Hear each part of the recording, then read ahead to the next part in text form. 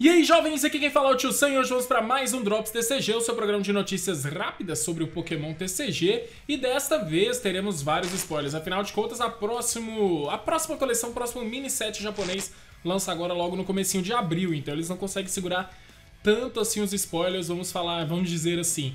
Vocês lembram que no Drops TCG passado ficou faltando é, falar sobre um Blister Pack da coleção Só Lua 10, que lança agora para nós no começo de maio? O Blister Pack ele vai contar com o Pikachu, mais uma vez, na Só Lua 9 também teve o Pikachu, ainda foi aquele Pikachu que joga, né? Tipo, meio que dentro dos decks ali de chamego, né? O Pikachu Nuzzle. Desta vez é um Pikachu, só que não é de Nuzzle, não é tão legal assim. Ele vai ser a promo número 183, quase, hein? Bateu na trave. Pikachu 70 de vida, básico, uma energia elétrica, uma incolor, ele dá o Thunder Jolt para 40 de dano. Esse Pokémon causa 20 de dano nele mesmo, tá? Então agora a gente já sabe tudo, tudo que tinha da Soy Lua 10 aí dos produtos em si. Bom, falando em produtos, temos também a Ultra Pro que está anunciando a sua linha, não só de coleções, né? Que ela sempre faz cada coleção uma linha completa de deckbox, sleeves, é, portfólios, né, fichários e tudo mais.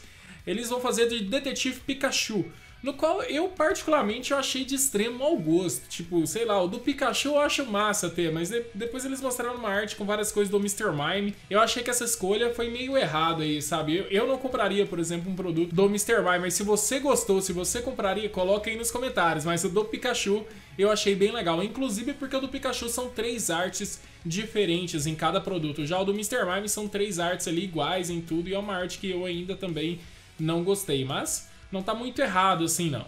Eles anunciaram também que durante o filme teremos promos exclusivas dadas dentro deste filme aí. As promos são pokémons que a gente já sabia que estão na coleção Detetive Pikachu, mas aqui eles estão com artes alternadas, tá? E eles vão ter numeração de promos diferente também. São eles o Bulbasaur com a promo número 198, Psyduck número 199 e Snubble já chegando na casa das 200 promos de Sol e Lua. Meu amigo, tem uma lista aqui que eu achei inacreditável essa lista aqui de todos os países que vão ter e aonde terão, porque cada carta dessa você não vai conseguir elas no mesmo lugar. Elas vão ser distribuídas em lojas diferentes, para você conhecer talvez os lugares onde Pokémon seja é distribuído e tudo mais. No Brasil está aqui marcado para o Bulbasaur, você conseguir ele pela PB Kids, é, o Psyduck vai ser pela ReHap e o Snubble vai ser pela Ciatoy. Se não tiver essas lojas aí na sua cidade, como vai funcionar essa distribuição, nós ainda não sabemos nada. Eu sei que tem uma lista tão organizadinha aqui, nós temos esse nome falado para nós. A Copag ainda não se pronunciou, mas aqui tá de todos os outros países. Eu acho que tá parecendo que algo muito conservadorismo aqui, sabe? Tá certíssimo, certíssimo. Eu acho que quem fez isso aqui foi alguém da Warner Bros, porque não faz muito sentido a gente não está acostumado com essa organização toda aqui em distribuição de promos. É, é uma crítica meio construtiva, a gente podia aprender, porque já está antecipando, né? Já vamos saber onde é que vai ter a, a distribuição, já vamos ficar ligados, poderia ser sempre assim, tá? Eu acho que não custa muito para a gente conseguir fazer as coisas dessa forma aí mais organizado. Uh, temos também um anúncio de uma mini set Remix Bout para lançar em julho. Em julho normalmente seria um set maior do Japão, aqueles sets com de 80 a 100 cartas. Porém, eles anunciaram esse mini set e a informação ela é totalmente desanimadora, cara. Tem drops TCG que, sério, eu fico meio triste, eu confesso para vocês. Temos na capa Venusaur, Charizard e Blastoise. Aparentemente teremos versões GX desses Pokémon. Porque realmente, alô aí, ó, galera da Cratchers, galera da Pokémon, Company International, Pokémon Company japonesa, o que a gente está precisando aqui nesse card game nesse momento são cartas dos iniciais de canto mesmo. Tá faltando Charizard, tá faltando Venusaur, tá faltando Blastoise, entendeu? O único aqui que talvez eu esteja sendo discriminado aqui é o Venusaur. O Venusaur não teria problema, mas Charizard e Blastoise de novo Uh, um produto que não é tão animador, pelo menos para mim, né? Diria, lançamento aí marcado para 7 de junho. Agora nós temos a imagem real do Kangaskhan GX Box. É um GX no qual nós só teremos na versão promo, tá? O preço de tabela dele ser vendido é 20 dólares. Normalmente quando o produto tem esse preço, ele acaba vindo pro Brasil por 89,90, tá? Eu tô só adiantando isso, mas não é oficial, não é informação oficial, tô baseando nos outros produtos anteriores. Kangaskhan, vou reler ele para vocês, ele tem 180 de vida básico, uma energia incolor, ele dá o Split Spiral Punch, para 20 de dano e o Pokémon ativo agora está confuso. Não é tão ruim esse ataque. 3 energias incolores, Enraged Strike para 80 de dano, mas se o Pokémon ativo estiver confuso, esse ataque causa mais 80 de dano. 3 energias por 160, ok, mas situacional já não é tão legal, entendeu? 3 energias só para 80 é muito pouco, 180 de vida é pouco também. Depois ele dá o Family Combo para 3 energias incolores, 150 você compra 5 cartas. Já esse daqui já é uma Premium Box que eu acho que ela é um pouco mais vantajosa, né? Ao do Blastoise GX Premium Collection, no qual vai vir o mesmo Blastoise que nós estamos aguardando ele aí na Soilua 10, tá? Muito provavelmente. Agora, eu acho que nós tivemos a Charizard GX Premium Collection, agora nós estamos tendo o Blastoise Premium Collection muito distante uma da outra. E ao que tudo indica, nós teremos essa versão Full Art do Blastoise aqui no ocidente, exclusivo desse produto. Na coleção você vai conseguir tirar a versão regular e a versão Rainbow, e no produto você vai conseguir tirar a versão Full Art, tá? Só pra lembrar vocês também, o Blastoise tem 240 de vida, habilidade Solid Shell, esse Pokémon toma 30 de dano de todos os ataques a menos aí. Depois, por duas energias é, de água, ele dá o Rocket Splash para 60 de dano vezes, embaralha a quantidade de energias de água ligada em todos é, neste Pokémon é, no deck. E aí esse ataque causa 60 de dano para cada energia que você embaralhou desse jeito. Uma energia de água Big Geyser GX, você coloca quantas energias de água você quiser da sua mão nos seus Pokémon da forma que você quiser. Então você vai lá, distribuiu, beleza, e aí você vai pegar energias que estão no seu Pokémon, simplesmente, e devolve pro deck para cada energia você causa 60 de dano. Uh, agora nós vamos finalmente para vários reviews aí da Didi Ends, né, que é a nossa pseudo Soilua 11, né? Lá no Japão é a Soilua 10A. Era, foi um set que eles falaram que seria baseado em dragão, mas nós já estamos sendo os upgrades para outros tipos.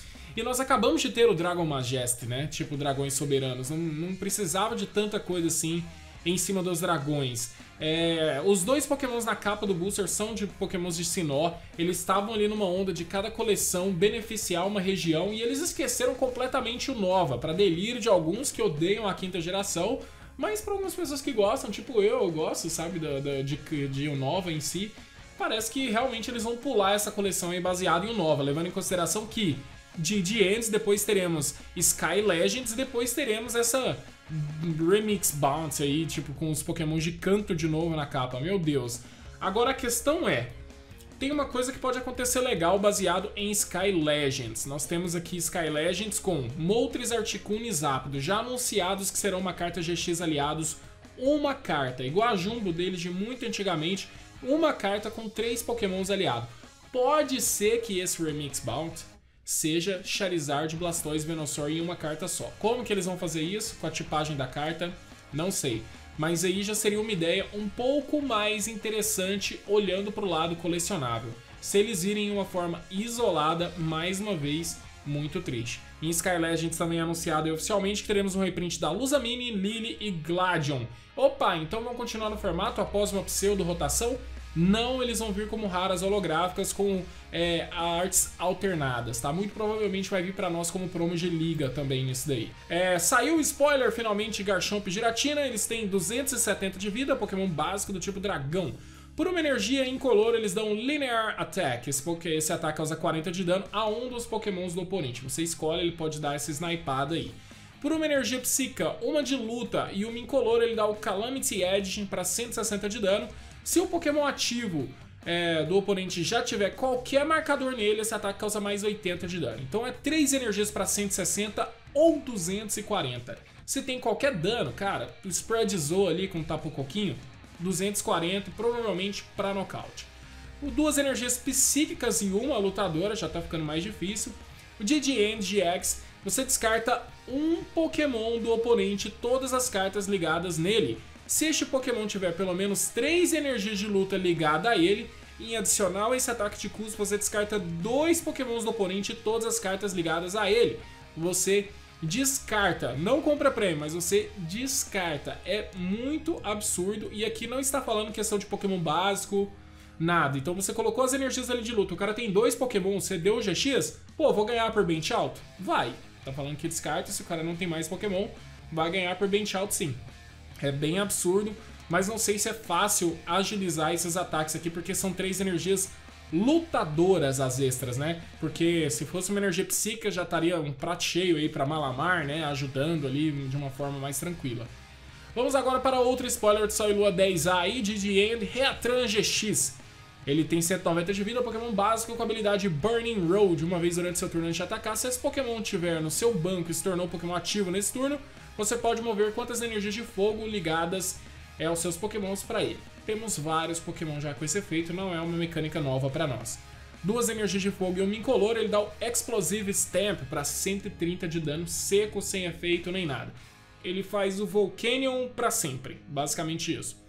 Uma energia de fogo, ele dá o Hits Bomber GX, 50 de dano, esse ataca 50 vezes as energias de fogo ligada neste Pokémon. Não descarta nada, mantém todas as energias nele, tá? Só te dá a opção de colocar o dano aí o tanto que você quiser.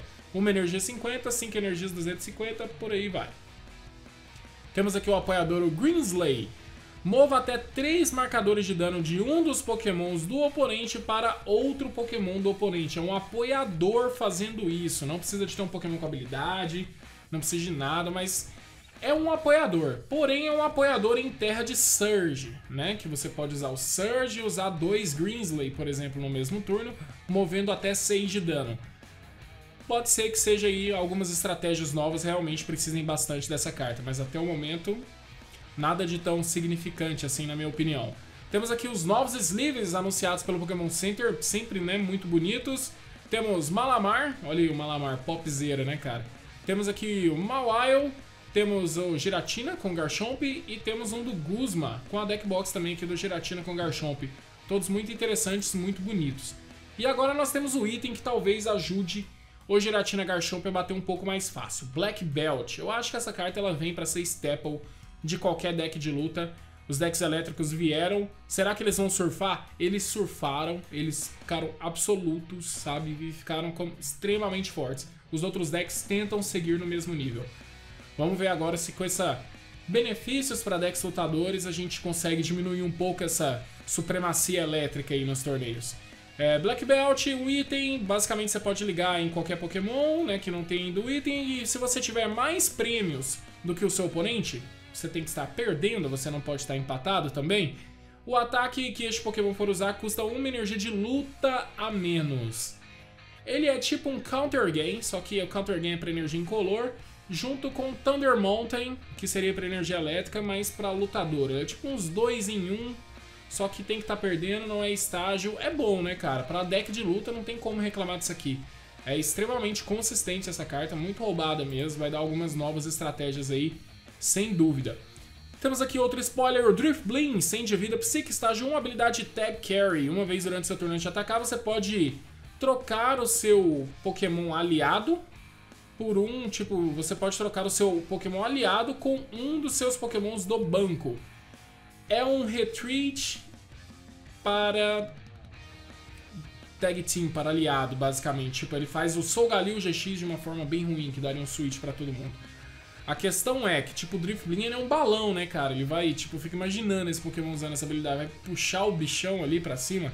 3 energias incolores, Spinning Attack para 70 de dano. Ok, nada mais do que isso. Tem uma parte ali que está borrada na carta. Por que o Japão borrou essa carta para mostrar para nós? Qual o problema que não pode ser mostrado ali? Não, normalmente eles não fazem isso, hein? Temos aqui um item Tag Switch, você move até duas energias de um dos seus Pokémons Tag Team para outro Pokémon seu. Uh, você pode jogar quantos itens você quiser. Essa carta aqui, ela é bem interessante. Isso aqui é meta, né? Isso aqui na hora que sair, vai jogar em bastante deck. E ali a ilustração dela, para quem tava com dúvida se ela moveria só uma carta de energia, teve uma tradução que tava girando meio que para esse lado. Na própria arte da carta já mostra ali uma energia psíquica e uma elétrica sendo movida ali de um lugar para outro, né? Então, eu acho que parece que, tipo, a Creatures teve uma decisão de é, borrar ali a parte do Drifblim, porque parece que talvez ali seria um Raichu ou um Alola Raichu, algo que eles não querem mostrar, entendeu? Talvez um Raichu com Alola Raichu seria um novo tag team, alguma coisa assim. Eu acho que ali tem algum bicho que eles simplesmente não queriam liberar esse spoiler ainda. Não é normal, alguma coisa tem ali naquele borrado. Os últimos spoilers de hoje serão Lucario, 120 de vida, estágio 1, habilidade Tag Coach, você, o seu Tag Team toma 20 a menos de dano dos ataques do oponente. Essa coleção foi avisada que ela teria diversos diversas coisas a favor dos Tag Team. Realmente nós já estamos vendo essas mecânicas aqui para ajudar os Pokémon GX aliados. Por uma energia de luta e duas incolores, ele dá o Match Straight para 90 de dano. Temos também uma Meloeta dessa coleção, básica 90 de vida. Por uma energia incolor, ela dá o Tag L. Liga uma energia da sua mão a um dos seus Pokémons Tag Team. Olha aí, tá tendo... Só que o ataque, o ataque não é tão bom, né, cara? Tipo, não precisava prender a Tag Team, tá ligado? Tem muito bicho que já faz isso e faz para qualquer Pokémon. Faz para básico, por exemplo. Não precisava ser exclusivo de Tag Team esse ataque da Meloeta. Duas energias incolores, Meteor Step para 30 de dano mais, joga moeda até da coroa. Esse ataque dá 30 para cada cara. Não funciona isso. E aqui temos a segunda graça da Creatures, que é mais uma carta borrada ali no canto e é um borrão amarelo, tá? Temos um Kangaskhan 130 de vida básico com uma energia incolor Double Draw. Adivinha o que faz o Double Draw? Vou deixar essa aí pra vocês, hein? 4 energias incolores, Tag Impact para 50 de dano e esse ataque causa 50 vezes o número de Tag Team que você tem em jogo. É basicamente double, double, tag team, tag team, tag team, tag team, mil de dano. E o meu atacante dá só um prêmio. Meu tag team tá ali só aumentando o dano do meu Kangaskhan. Basicamente, essas são todas as novidades nossas aqui do Drops TCG. Dessa vez teve, tivemos muitos spoilers novos. A galerinha que gosta dos decks lutadores aí já deve estar, tá, né? Tipo, Ursana aí já deve estar tá achando muito bom esse item. É, o item só funciona se você estiver perdendo. Acho que não é estratégia de nenhum deck lutador. Ele quer ser rápido, ele quer botar pressão. Mas eu acho que vai ser staple em algumas quantidades no deck. Só não vai usar 4 dele, porque eu acho que não tem necessidade. Você não, não vai estar tá perdendo sempre, sabe? A situação não vai estar tá tão desfavorável para você, para você ter benefício desse evento. É, Garchomp Giratina achei roubada a carta, sabe? Tipo, Pokémon Dragão jogar eu acho interessante. É, até agora, nenhum sinal da Double Dragon Energy e eu acho improvável dela ser reprintada. Então, acho que eles não vão jogar tão facilmente, mas eles têm que jogar de uma forma meio roubado mesmo. Então, porque eles precisam de duas, né? Dois tipos de energia diferentes. Eu acho que é o primeiro GX aliados que a gente tem aí dessa forma. O Latios tinha também, mas, pô, Latios e Latias um pouquinho mais devagar aí, né? Garchomp e Giratina achei bem mais roubado. E vocês, qual, qual a novidade que vocês acharam mais legal do Drops TCG de hoje? Pessoal, espero que todos vocês estejam passando por um ótimo dia. Vou dar só uma diquinha para vocês aqui, ó, playgroundsp.com.br, para você que vai jogar o regional agora. Basicamente, faça a sua compra pelo site da Playground e coloque para retirar lá no regional. Você não precisa pagar frete. Coloca o cupom TIOSAN 5% de desconto, chance única para você que está aí no regional. Compra qualquer coisa que você quiser pelo site da Playground. Comprou, dá para retirar lá no regional. Qualquer coisa, manda mensagem pela fanpage do Facebook, conversa por lá. O pessoal vai te dar uma assistência o mais rápido possível. É a sua chance de comprar o que você quiser, quanto você quiser, sem pagar nada de frete, beleza? Então, playgroundsp.com.br, não esquece de usar o cupom aí Santa e USAM, loja extremamente confiável, envia para todo o Brasil caso você não vá para o regional, mas é uma baita chance aí para vocês, beleza? E também a loja vai estar lá com o stand e tudo mais, e se você é padrinho do canal, passe no stand da Playground, ou Vareda, o pessoal da Playground vai ter um brinde para vocês, beleza? Já tá conversado isso aí, então é, eu vou tentar avisar isso em todos os vídeos, mas não se esqueçam disso, tá? Vocês são padrinhos, basta passar no stand da Playground e você vai ganhar um brinde lá, beleza? Gente, ansioso aí pelo comentário de vocês, que todos vocês estejam passando por um ótimo dia, fiquem com Deus. Aquele abraço e brofish dos brothers pra encerrar. Tamo junto, valeu demais, hein?